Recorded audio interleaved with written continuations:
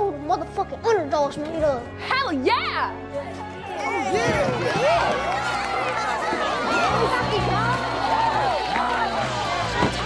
Trey.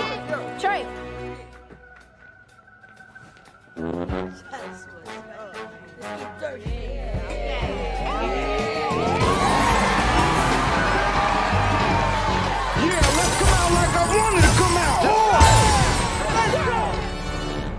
Colonels, we're gonna keep on following our destiny, okay? We had some rough couple moments.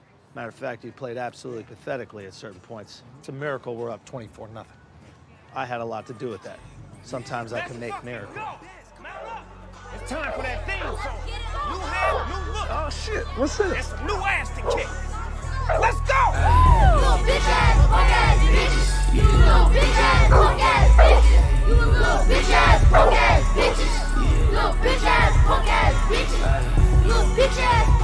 Bitches. You little bitch ass, punk ass bitches. You little bitch ass, punk ass bitches. You little bitch ass, punk ass bitches. Oh, very nice, two J's. Love the language. Real quick, like it's QT. Never lack it. I know how these niggas. Great jerseys, by the way. What happened to the other ones? They get repoed at halftime?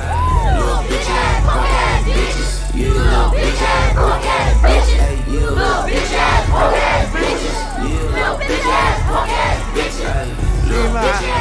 Good game.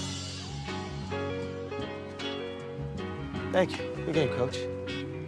Got a talented group here. Hey, don't get it twisted, though. We go fuck you motherfuckers up next season. No cap!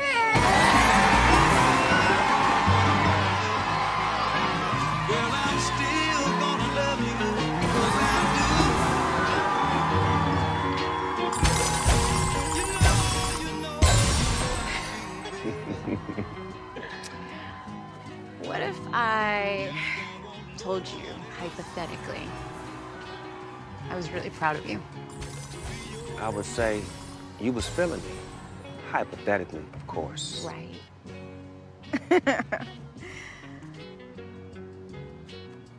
you still smoke?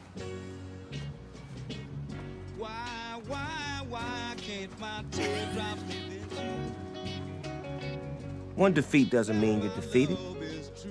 That shit only makes an underdog hungry. Hungrier for the next opportunity to defy the odds and come back stronger than ever. Because you see, the true power of the underdog is that they never let themselves be beaten. And at the end of the day, right there is the definition of ultimate motherfucking greatness.